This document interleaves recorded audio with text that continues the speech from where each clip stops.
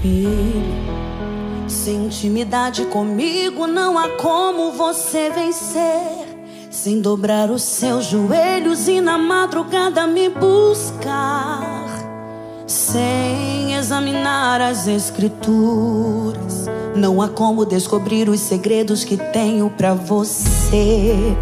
Mas sondei seu coração e vi desejo de adorar.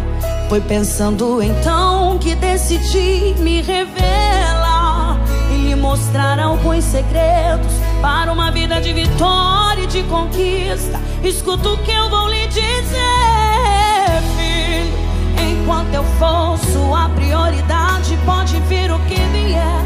Pode também contar comigo, seja lá para o que for. Mil cairão ao seu lado e dez mil à sua direita, mas você não será atingido, verá livramento.